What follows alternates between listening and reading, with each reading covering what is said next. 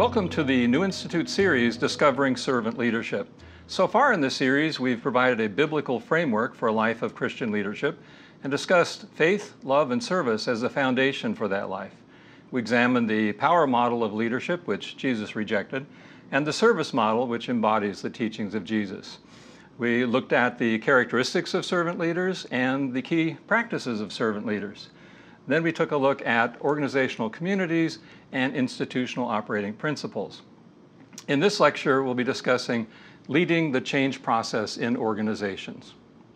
Leading change can be a challenge.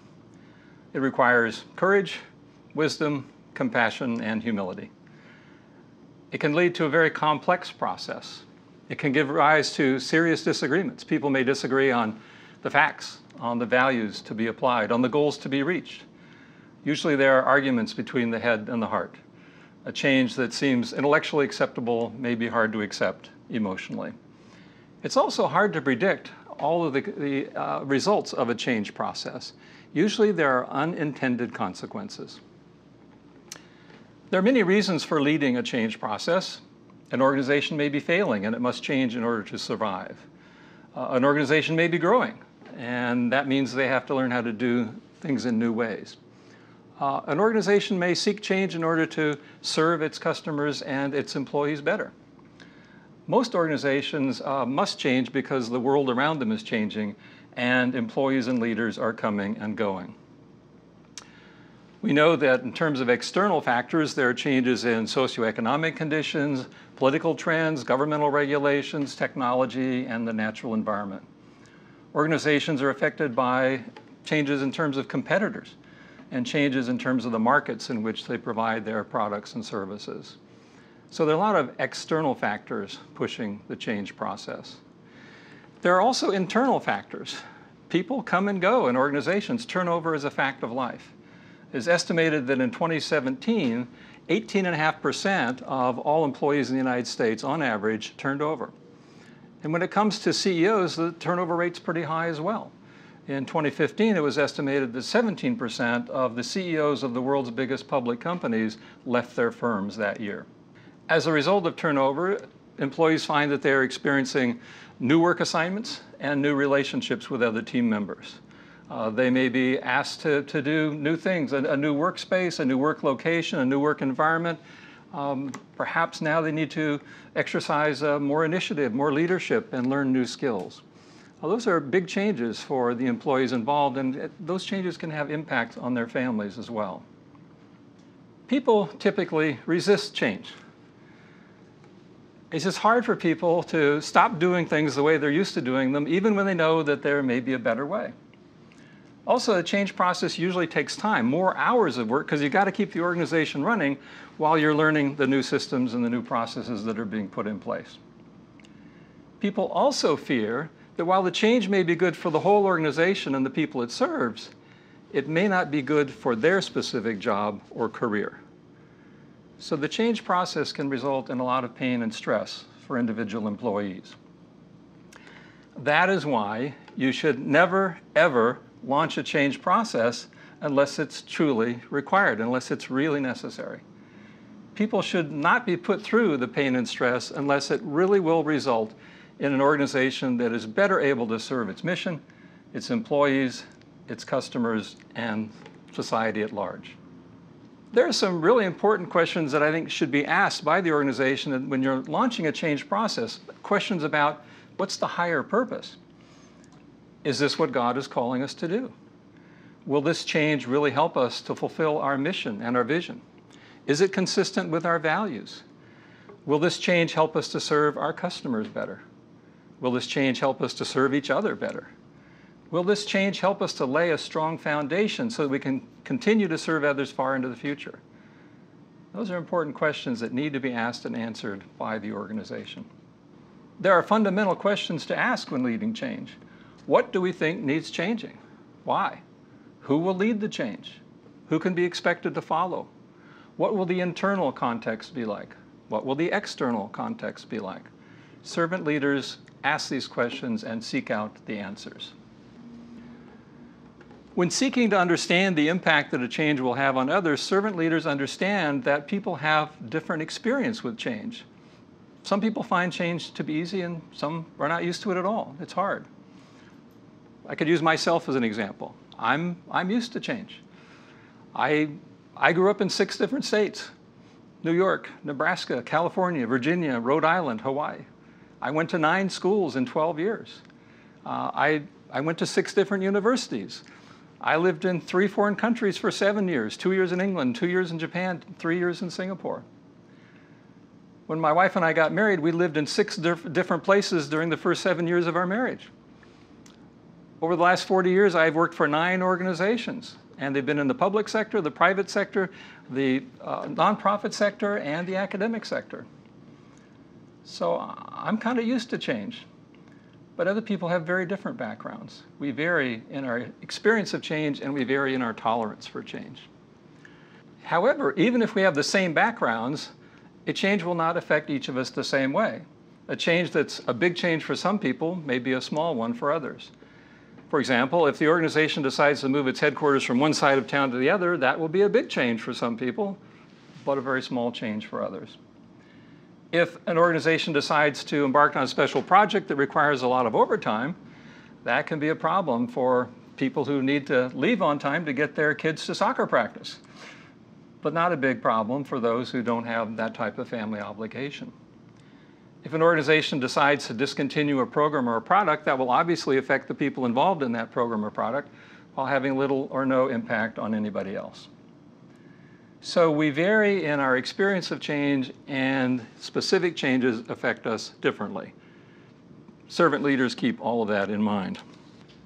I have learned that in general, people are willing to change when they are consulted, when they understand the need for change, when they know what the change is about, when they have the time and resources to make the change, and when they are kept informed during the change process. However, I have been in situations where people intellectually support the change process, but when we begin to implement it, they complain or even attack. The attacks may be even very bitter. Sometimes we can understand intellectually the need for the change, but when the change begins, it just doesn't feel good. Something that we agree to intellectually may be followed by emotional pain. This is when it's really important for the servant leader to love his or her colleagues people are grieving. People are losing something. The old ways are dying. People need compassion. They need patience and support from their leader during the change process. Even if people are not grieving, they often have doubts. A change process can take months or even years. Uh, it's very common that during a change process, people will begin to wonder what was it that we were trying to accomplish? Why are we going through this change? You see, the benefits of the change probably haven't started accruing yet. People are just feeling the costs, the, the extra hours of work, the pain, the stress, the confusion. Compared to those costs, the past is beginning to look pretty good. What were we thinking? Really, what were we thinking? Well, this issue goes back at least as far as Moses. Now, Moses led the Israelites out of bondage in Egypt on a journey to a new land, the land of milk and honey. You would think that the Israelites would be overjoyed to be free and to be on that journey. But that's not what the Bible tells us. According to the Bible, the Israelites had their doubts from the very beginning. From the very beginning. They wondered, why did Moses lead us out in the desert to die? Back in Egypt, we had food in our pots. They kept referring to things being better back in Egypt. So they complained, they resisted, they even went astray. Moses was a, a, great prophet, leading his people on a journey of great historical and religious importance. But even for him, even with all the miracles that God showed them, leading change was not easy. It wasn't easy for Jesus either. He came to teach a new way of living and loving, a new way of relating to God, a new way of being God's people a new way of understanding the kingdom of God. The crowds didn't get it. They wanted him to be an earthly king. Sometimes the disciples didn't get it either. They didn't want him to go to Jerusalem. They didn't want him to, to, to die. They didn't, they didn't want God's plan. When they prayed with him in the Garden of Gethsemane, they, they couldn't stay awake. And when he was arrested, they just dispersed. Peter denied him three times. But that wasn't the end of the story. In fact, we know the story never ends. Jesus changed the world, and Christ reigns. If it was that hard for Moses and Jesus, we should not be surprised that it's hard for us. We need to have empathy for our colleagues who are going through the change process. We need to acknowledge their doubts. We need to stay with them, listening and encouraging. We need to remind them of the benefits that will eventually be achieved if we stay on course and we stay together. There are a number of reasons that servant leaders are good at leading change. They won't take advantage of a change process to build their own power and position.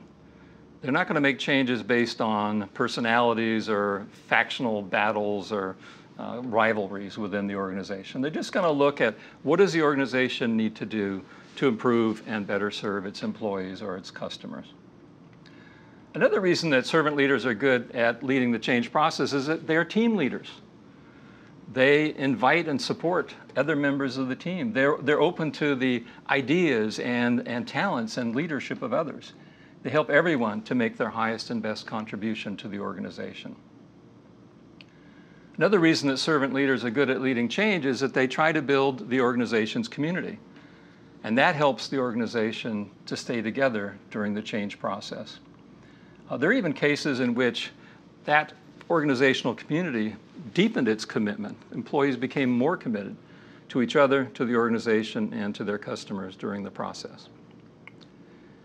Most important, I think, when talking about leading change, servant leaders are good at being shepherds they really understand the need to pay attention to the emotional and spiritual state of their colleagues who are going through the change process with them.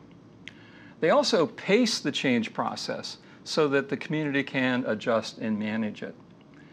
And they're constantly consulting to stay in touch with people so that they can better adjust the change process as needed.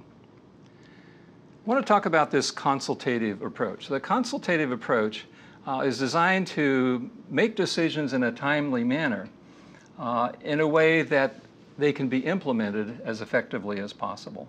So the idea is to get input from a lot of different places and then make a decision that's truly appropriate that other people are willing and able to implement. Back in the 1970s, I uh, worked for part-time for a securities company in Tokyo. And I became interested in how the Japanese and Americans negotiated and made deals what I learned was that the Japanese were slow to make a decision because they involved their teams. But then when it came time to implement the decision, they were very fast because everyone on the team understood the situation, they understood what needed to be done, and they were ready to go. The Americans, on the other hand, were quick to make a decision because they didn't involve their teams. Um, but then they, were, they, they had difficulty implementing because the teams didn't understand what was happening and they were not ready to go. Some uh, were even uh, disappointed they'd been left out of the negotiations, so they dragged their feet or even tried to sabotage the deal. That's why servant leaders don't issue orders. They don't just send the memo. They know that people receiving the memo may not understand it, they may not have the time or ability or resources to do what's requested, and they may even decide that they don't really want to do it. Servant leaders use a consultative approach instead. Now that approach is somewhere between the autocratic approach and the democratic approach. Uh, the autocratic approach would be a person just making the decision by himself or herself, and that can lead to bad decisions if the autocrat doesn't listen and doesn't have very much information. People may even resist the decision because they were left out. The democratic approach is necessary for our political lives, but it may not work well in an organization because the majority only needs 51%. And they may feel they can ignore the ideas and concerns of the other 49%. But those ideas and concerns may be absolutely crucial when it comes to implementing the decision. So in the consultative approach, the, the servant leader tries to get all the information possible, ideas, concerns, issues, pro and con that relate to the decision. Uh, by getting all those views, it's possible to make a decision that can be implemented because it maximizes the positive benefits and minimizes the negative. Even people who assume that consultation is good will say, but there are limits.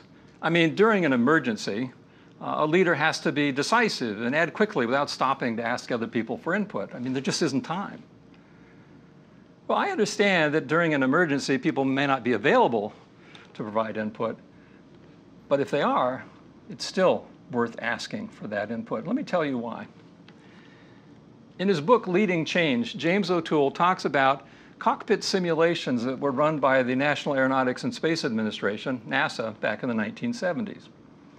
They put three crew members into a simulator, a flight simulator, uh, in order to um, try to judge their effectiveness in responding to computer-generated crises.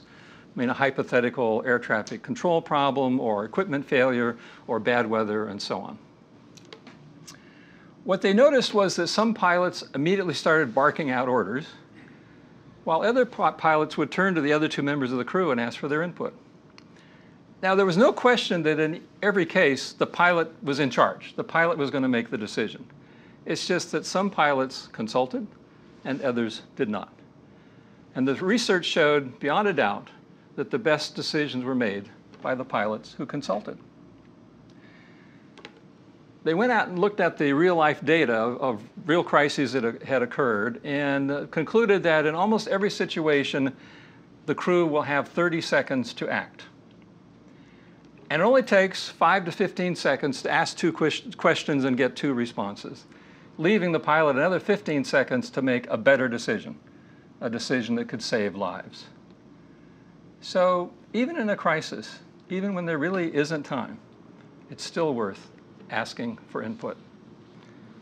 One of the most dramatic stories I've ever heard about leading change is the story of the Delphi brake assembly operations in Dayton, Ohio. Back in 2006, uh, they were told that they would be closing their doors in 2008. They had 1,600 employees, and they were going to all be losing their jobs. Um, the plant, the business had been sold to another company. They needed the two years to build their own plant, hire and train their own employees, um, so the business would shut down for sure in 2008. Well, employees were, were angry. I mean, some of them had worked for GM and Delphi for, for decades. Um, many of them quit immediately, hundreds uh, left right away, so their replacements had to be hired and trained. The challenge was they had to keep producing high quality brakes for two years, up until the last day before their plant was closed.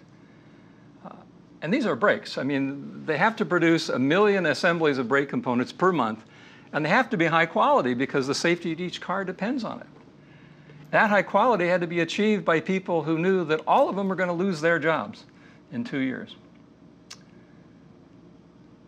Tom Green was the plant manager, and Mary Miller was the human resources manager for the Dayton operations. And been my, my privilege to, to meet them, chat with them, and to learn their story firsthand. They told me that uh, the corporate headquarters told them that they had no ready-made plan to help them deal with the closure. So they were on their own. Well, that was a blessing because then they could face the crisis by doing what they had always wanted to do, which is apply servant leadership principles. They picked four. First principle, listen, don't talk.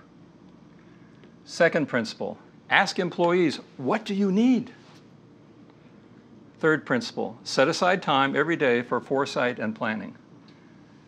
Fourth principle, ask, do those served grow as persons?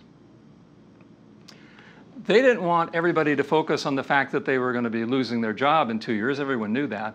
They wanted employees to focus on how to make the best use of that two years to prepare themselves for getting their next job. So they sat down with the employees and said, how can we make the best use of this time for you? Would you like more training? Would you like to finish a college degree? Would you like job rotation to, to expand your resume? They came up with an individual development plan for each employee. And they, they checked every few months to make sure that the plan was being implemented. They did many different things to manage this crisis, but the individual development plans were a real key to their success. And it was a dramatic success. They became one of the safest manufacturing plants in the United States. Their defect rate was single digits, nine parts per million or less.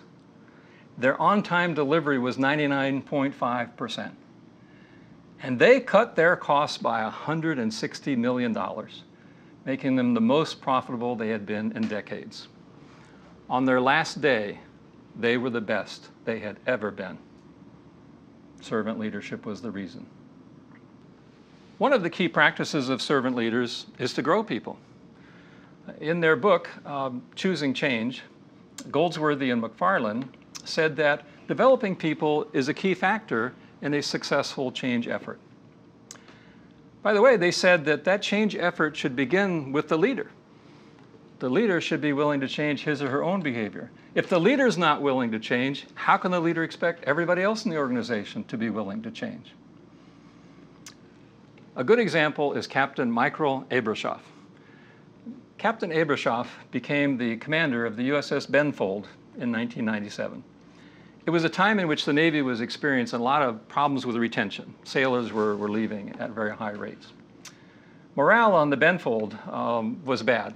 When the previous commander left, they stood there cheering his departure. The Benfold was arguably the worst performing ship in the Navy. A year later, after Captain Abrashoff took command, they were rated number one in the fleet with the same crew with the same crew. At first, Captain Abrashoff wasn't sure how to turn the situation around. Oh, yeah, he knew about command and control, but he also knew that hadn't worked for his predecessor. So he decided to just sort of watch and listen.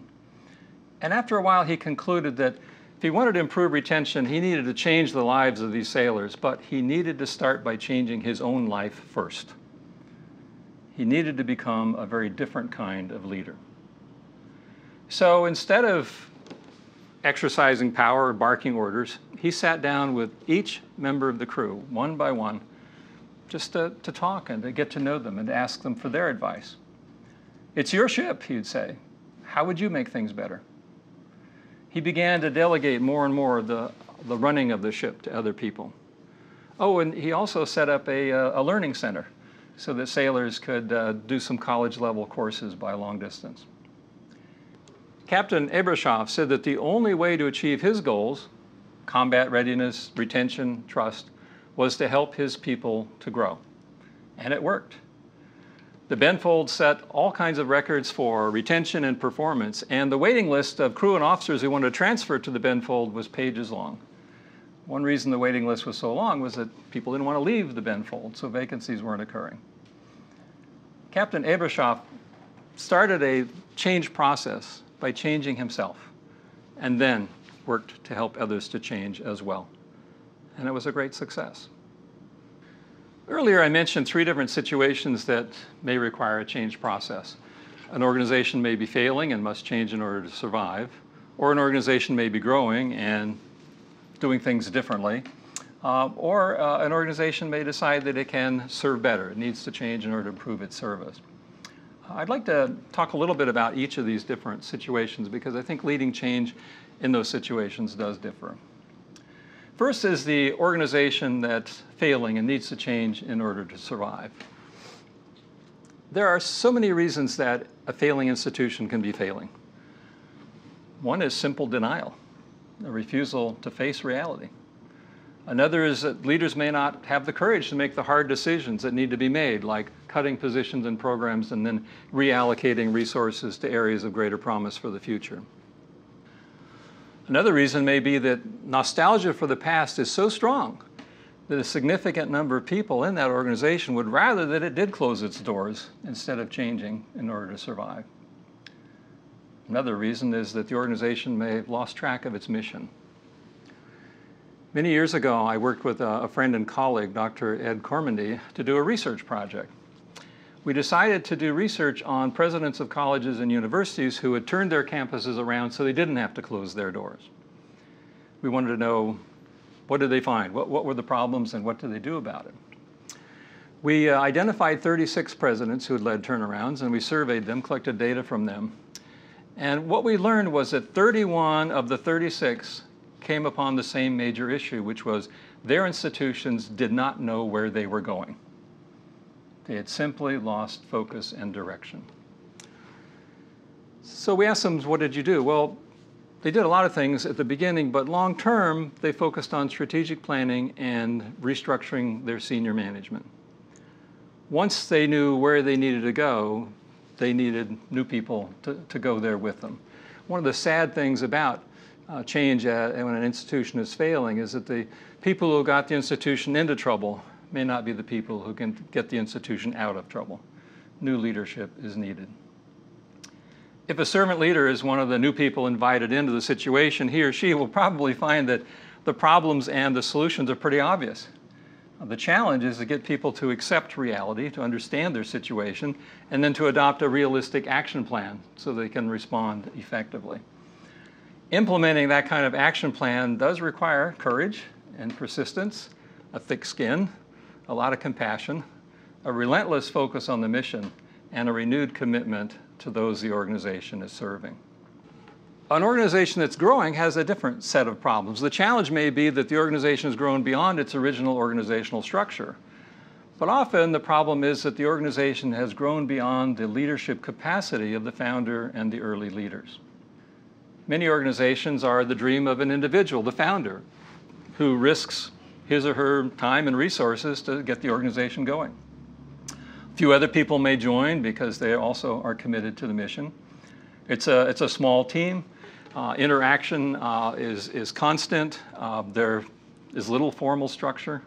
Uh, the business starts in the garage or living room of the founder, and the team lives on passion, prayer, hope, and peanut butter and jelly sandwiches. Uh, those are exciting early days, referred to later as the good old days. Then success comes, and new people need to be hired, and the garage or living room isn't big enough anymore, so office space needs to be rented. People don't see each other as often as they used to. Communication systems have to be set up, meetings have to be scheduled, rules have to be adopted, and there's the first hint of office politics. Still, the founder and the early leaders are leading the effort, and they're still involved in all the decisions. But growth continues to the point where the founder and the original team can't make all the decisions. At that point, some entrepreneurs will sell the business and go back to their garage or living room and start another one. A servant leader will decide to share decision making and support the development of other leaders so the servant leader can still be involved. But if the founder is not a servant leader, it becomes difficult. The founder is not a servant leader. He or she doesn't want to give up control, will not delegate decisions to other people, which means that now they are limiting the growth of the organization. That's called the founder's syndrome. And it's sad because unless that founder resigns uh, or is forced out of the position, the organization really won't grow. It's the kind of situation that leaves deep scars. The third situation is an organization that's not failing or growing, it's an organization where things are really all right, but then that makes it hard to get people to accept the need for change. John P. Kotter has written a number of books about leading change, and he says, you know, the, the first step in leading a change process is to establish a sense of urgency. He tells a story of a company that had decentralized uh, the purchasing process so that each of its factories had their own supplier and, and their own purchasing uh, situation the company's purchasing managers really felt that if they centralized the process, they could save the company $1 billion over five years. The problem is, that's a really big change, and there was no sense of urgency. One of the purchasing managers asked a, a summer student, an intern, uh, to do a little research. He said, Would you go and find out how many different kinds of gloves are used at all of our factories? Well, she did the research and she came back and said, well, there are 424 different kinds of gloves being used at our factories, uh, and the same gloves are being sold at different prices. So the purchasing team gathered samples of each glove, all 424, and they took them into the boardroom and they stacked them in a big pile. And then they invited all the division presidents to come in and look at the pile. And the division presidents were shocked. Here's this big pile of gloves and they could see that sometimes the same glove was sold for $3 or $5 or, $10, variation. Well, they got the point. And that pile of gloves had been moving around the company, being used as a way to try to create a sense of urgency and explain to people why centralized purchasing could be an advantage. Joe Patrnchak led a change process at the Cleveland Clinic where he introduced servant leadership principles. Joe had done HR work in the high tech industry, but he felt God calling him to accept the Chief of Human Resources position at the Cleveland Clinic back in 2007. The Cleveland Clinic is one of the most respected healthcare systems in the world. They have 40,000 employees, three and a half million patient visits from citizens of more than 100 countries, um, U.S. News and World Report usually rates them as one of the top four healthcare systems in the United States. But not all was well back in 2007. Joe tells his story in his book, The Engaged Enterprise. He said that he knew that people would not get behind change unless they were dissatisfied, unless there was that sense of urgency. So he commissioned a survey on employee engagement and found that employee engagement was poor then there was a survey on patient satisfaction that, that revealed that while clinical results were superior, the overall patient experience was average. Well, this led to real dissatisfaction among the leaders at Cleveland Clinic, and they committed to a major program to improve employee engagement. Joe suggested they focus on making the clinic a great place to work. They started with a program titled We Are All Caregivers. The message was that everyone who, who interacted with the patient could affect the patient's experience, not just doctors and nurses. Patient's experience could be affected by the people who maintained the facilities, the people who worked in the kitchen, the people who checked in the patients, the people who walked people to their cars when, when they were going home. Then they started a program where they pulled people from different levels and functions of the clinic together for three hour discussions of the mission and values. Then Joe introduced servant leadership as the leadership model. Within two years, 3,000 leaders were trained in servant leadership. They started a program called Caring for the Caregivers, a whole series of employee benefits. Now, my favorite benefit was the wellness program. They decided to give all their employees free access to Weight Watchers and Curves. More than 12,500 employees participated and they lost 75,000 pounds. That, by the way, saved the Cleveland Clinic $78 million on healthcare costs. The change process required a deep commitment because there was resistance at every stage to every new program. It also required a long-term commitment because evidence of improving employee engagement didn't start appearing in the surveys for two years. But after five years, the ratio of engaged to disengaged employees rose from a dismal two and a half to one to a world-class ten and a half to one. Patient satisfaction also improved dramatically. It was a tremendous success, and servant leadership was a big reason. In summary, there are many reasons for leading change. An organization may be failing or growing, or may decide to improve its service. External forces and internal turnover can cause change. People vary in their experience with change, and individuals can be affected differently by specific changes. Even when the need for the change is clear, employees may suffer pain, stress, or confusion. Change can be successful if the leader is a servant leader, a shepherd who consults with others and truly cares about the emotional and spiritual health of all the team members throughout the change process.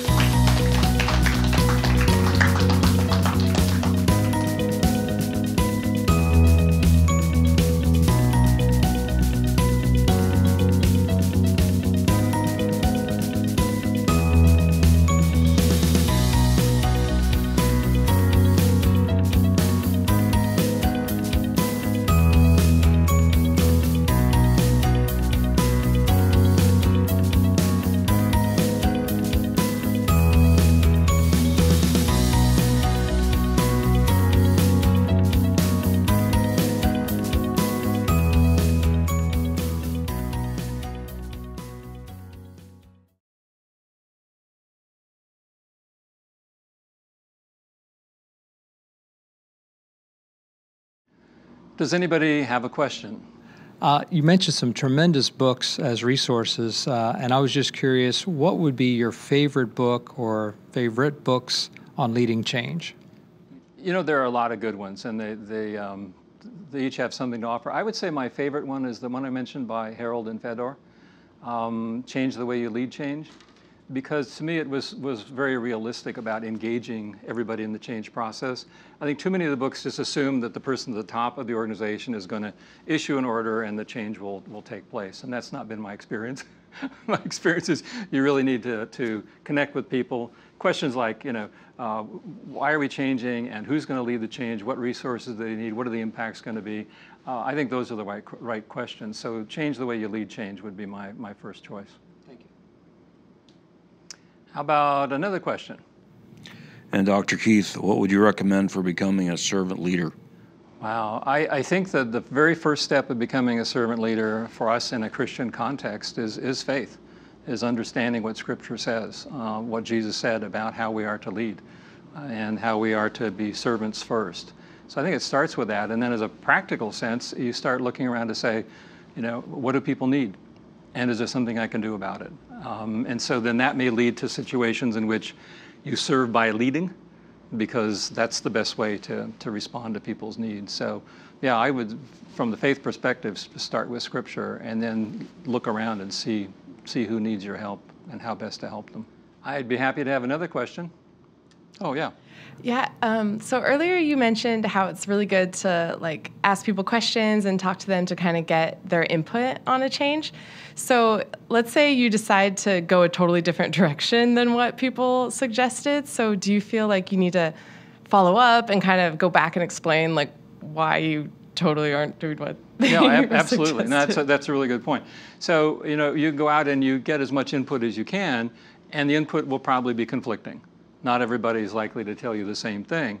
So you make the best choice, and then you go back and explain to people why you made it.